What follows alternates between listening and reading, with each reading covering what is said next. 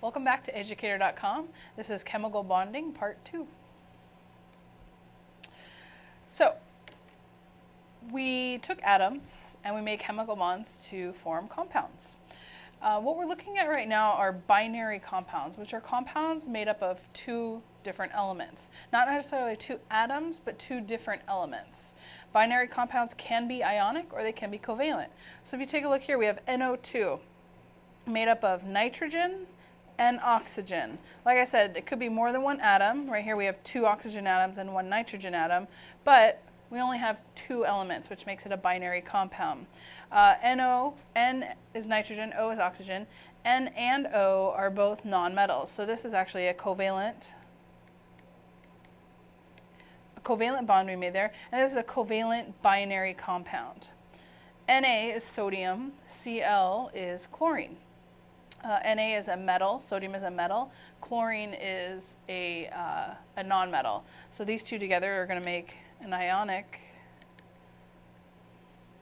binary compound, uh, having only two different elements in it. Uh, what we're going to be using a lot today that we've talked about before is oxidation numbers. The oxidation number is the charge of the ion written as superscript, meaning above, uh, above the symbol of the atom. So what I have here is this magnesium, and this 2 plus here is our superscript oxidation number.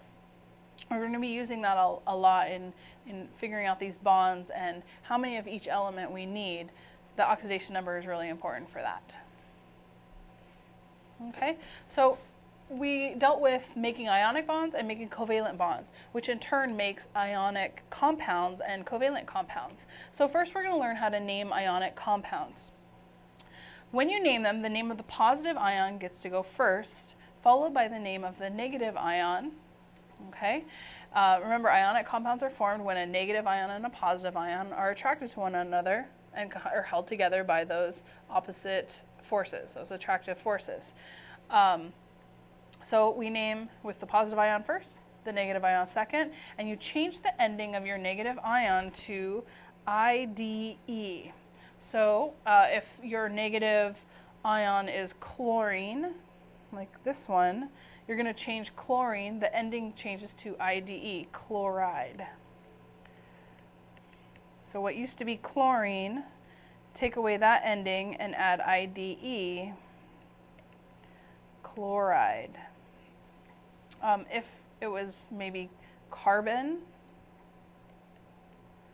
you would change it to, take away that ending and add IDE, carbide. Okay, so anytime you see that IDE, you know that that's, uh, we're naming a compound. In this case, an ionic compound. So I have NaCl right here. Um, since we know we're naming ionic compounds, one's a metal, one's a nonmetal, it's ionic. Um, the name of the positive ion is the sodium.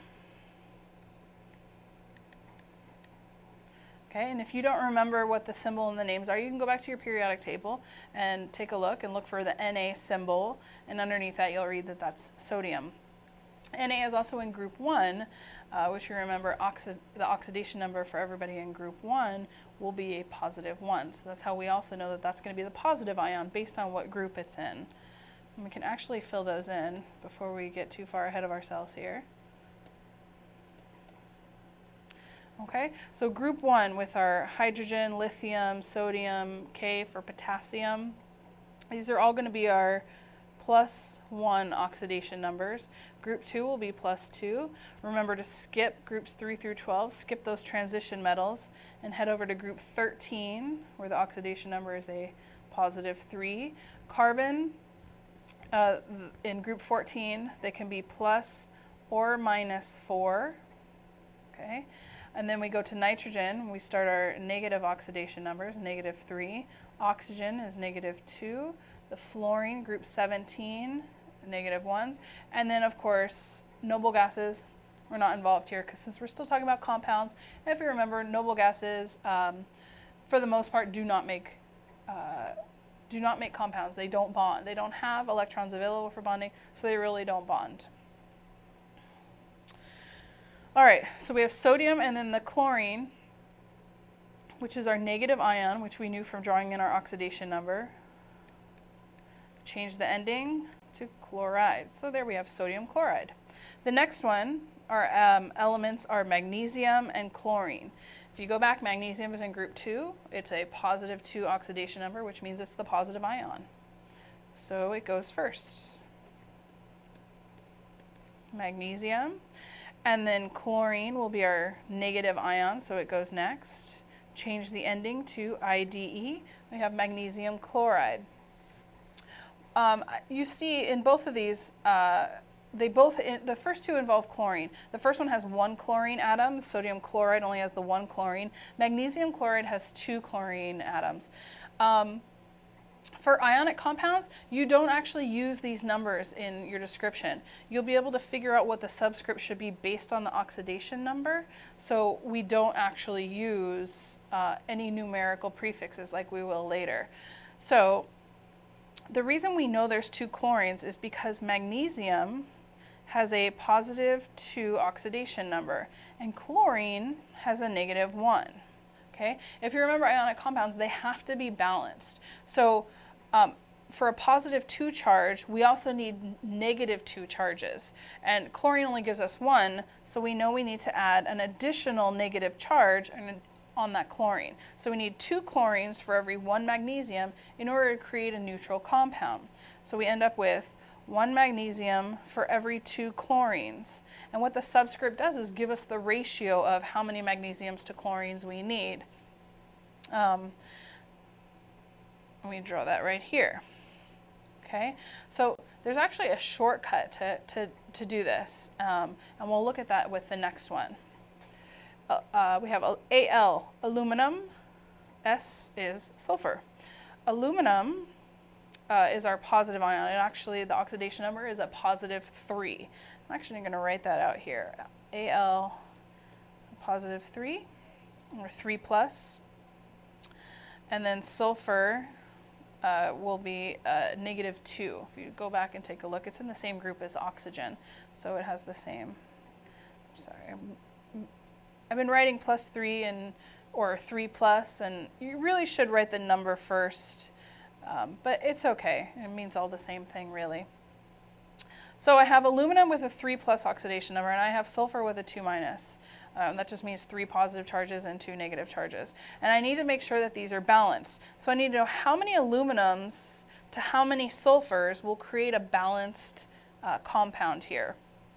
So if I add another aluminum, I get another three positive charges. That gives me a total of six positive charges. So how many sulfurs with two negative charges do I need to get six negative charges? Well, the answer there would be three.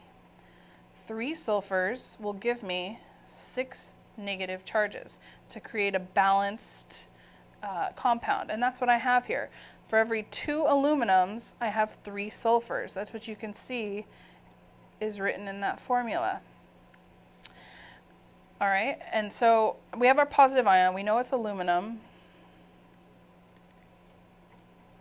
And the negative ion is sulfur. Change the ending. IDE, aluminum sulfide.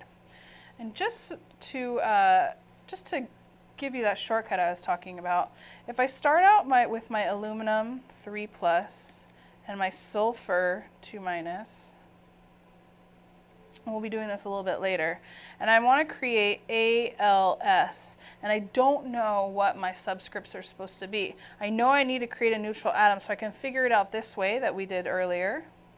Or you can take this shortcut where the superscript, the oxidation number of 1, becomes the subscript of the other when you go ahead and write it out in the formula. So let me just change colors so you can see this better. This 3, the number, not the charge, just the number, the oxidation number of 1 becomes the subscript of the other. So the 3 used to go with aluminum when it was a superscript oxidation number. Now it's the subscript for the sulfur. The 2 used to go with the sulfur as the oxidation number, and now it's the subscript for the aluminum. I'm sorry, this is a 3. I just drew it wrong, but I wrote it the right way. So that's how you get your Al2S3, creating a neutral compound. But for the naming, all you do is positive ion first, Negative ion second, change the ending of the negative ion to IDE.